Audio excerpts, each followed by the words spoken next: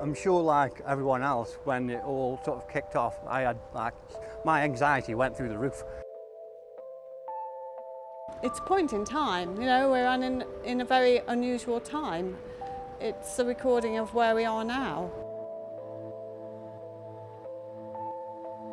I'm Laura Gallagher. I'm co-director at Urban Wilderness in Stoke-on-Trent. Urban Wilderness work with communities and artists to produce cultural events in public spaces. These events bring people together and create a sense of community. Summer 2020 has been so challenging for everybody, but at least we had the outdoors where we could socialise, connect with nature and support our own well-being. So we'd like to invite you to share in these pieces of artwork which have been created for the Winter Wastelands project.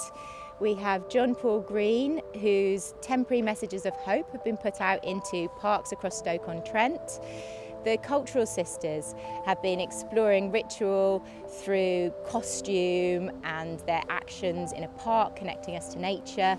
The Clay Comrades are a group of volunteers who work at Spode and they are going to be dealing with some of the more difficult emotions that come up at the moment, using clay and firing as a way of processing these feelings. And we have Asma, who is a young artist from Etruria. She is going to be doing portraits of some of the people who live in her community so that we can then share those through postcards with positive messages and aspirations for the future.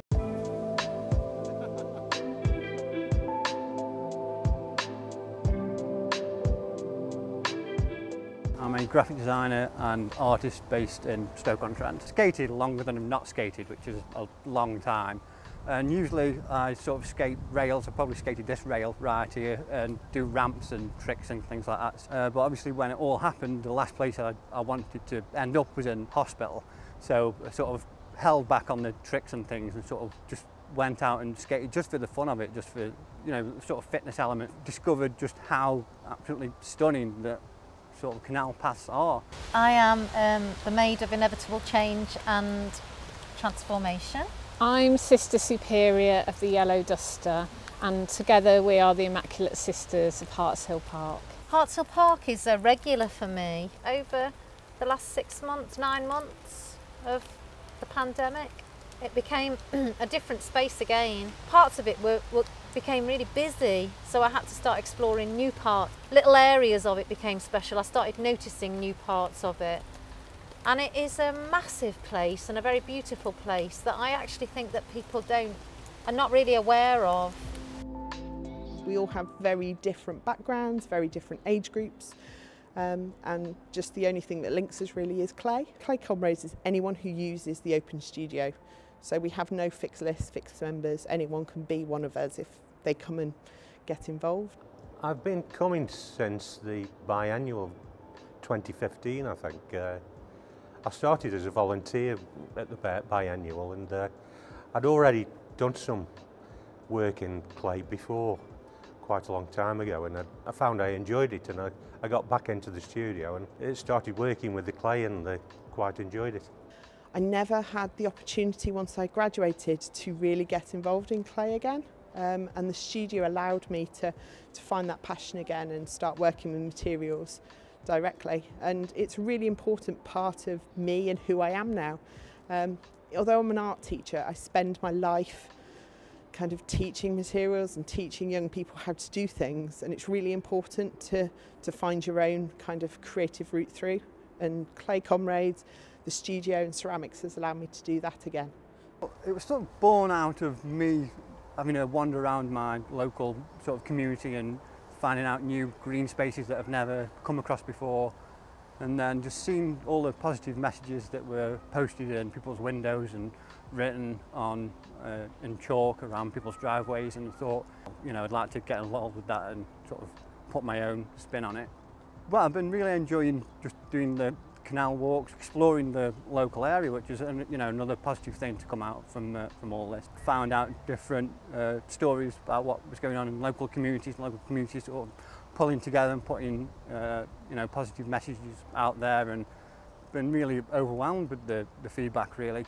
Second one that I did about the you know being able to see a, a smile through uh, a mask uh, people have actually gave real world examples. Uh, there was a, a woman that said uh, she told the person at the till that you know because you can't see my face I am actually smiling she said that well I can uh, you know I can see it in your eyes. One thing we did was to walk like make our walk a, a ritual walk so um, we slowed the pace um, we didn't talk as well we did it in silence. We can appreciate more and absorb more of what is around you know it's very much about noticing things so the walking became more of a ritual. At the end of the ritual we lit candles and we did it at dusk.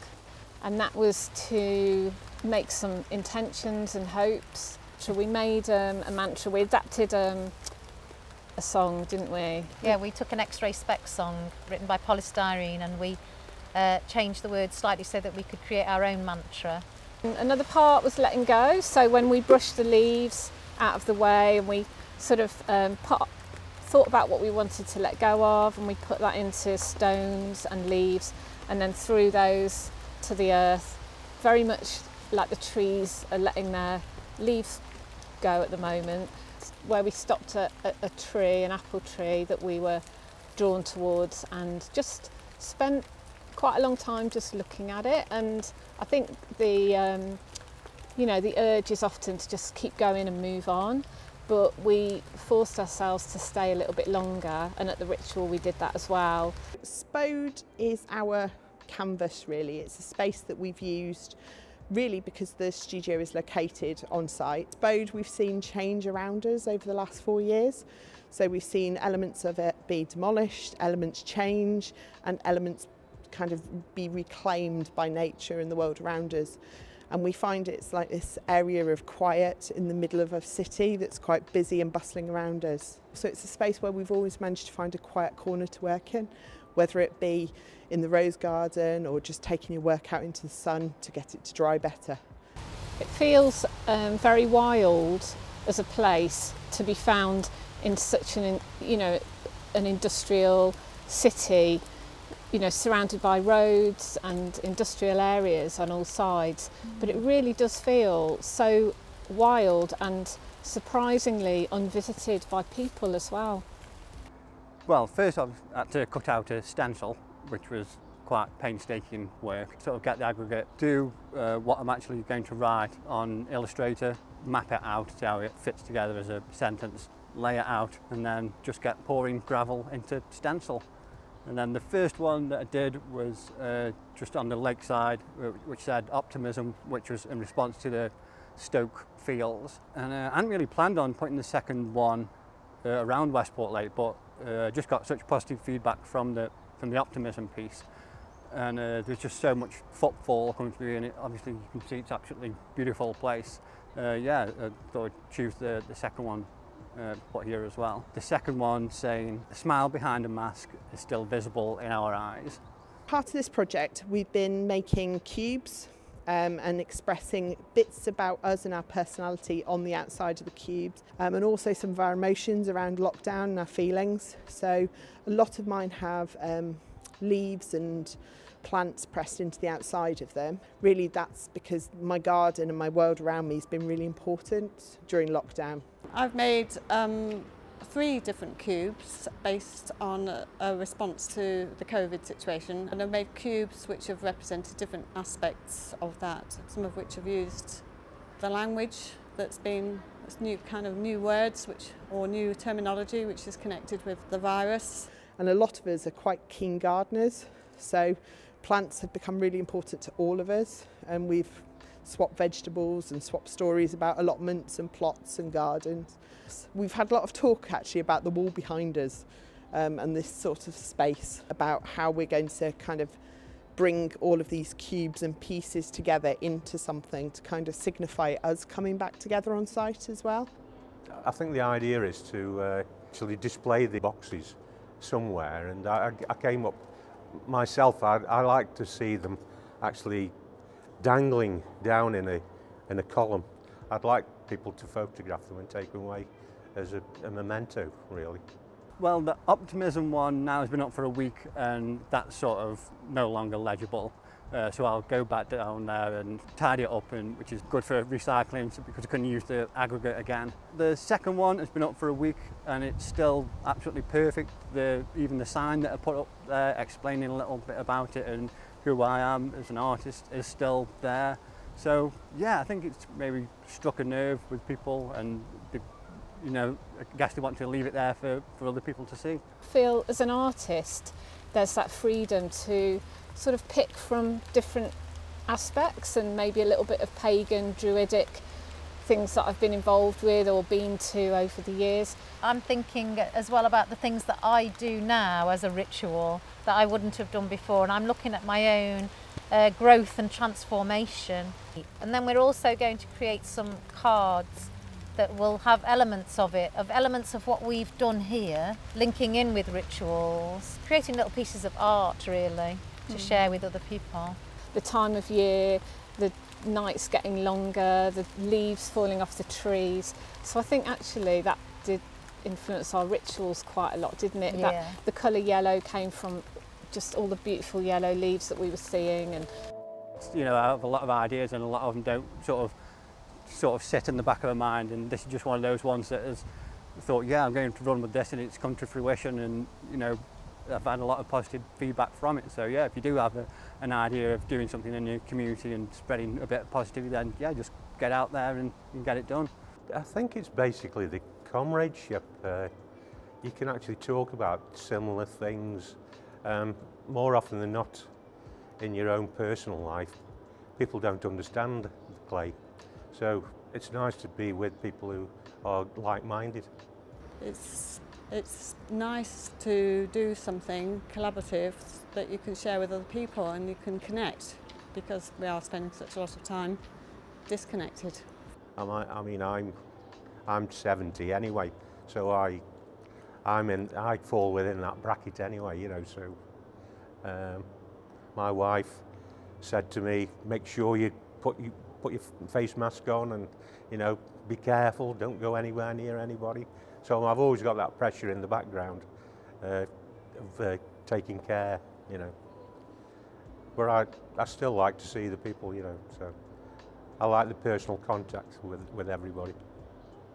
For me, it's, it's very personal and I, and I appreciate that everybody's experience is very different.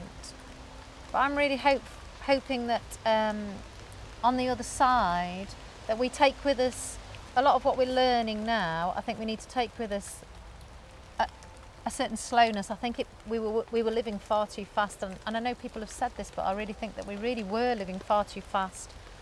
And we need to kind of take our time, we need to be more considerate of others. I think, you know, there's so many lessons to be learned. When we were in lockdown and not able to sort of go out and socialise, it was just so nice, just again, just passing people and, you know, acknowledging other people that were, that were still out there, you know, just living the lives and having fun basically. I feel as though we've had this immense support from much, much more people than I usually do get support from um, when we put stuff on social media. I feel as though this has really pulled in an interesting um, group of people, lots more of them. Staying in contact with each other has been important. The, the Zoom meetings, the sharing of photos in WhatsApp groups, the random posts have, have felt important. Um, and actually one of the nicest things we only did last week, we did a Zoom call where we, um, we, we made cubes on Zoom, which was really bizarre. So it was just like a normal Zoom call, but we were sat there with our clay in our rooms making um, And I know last week I really wouldn't have got Clay out if I hadn't have had that Zoom call to look forward to and be part of getting Clay out and working together as a collective.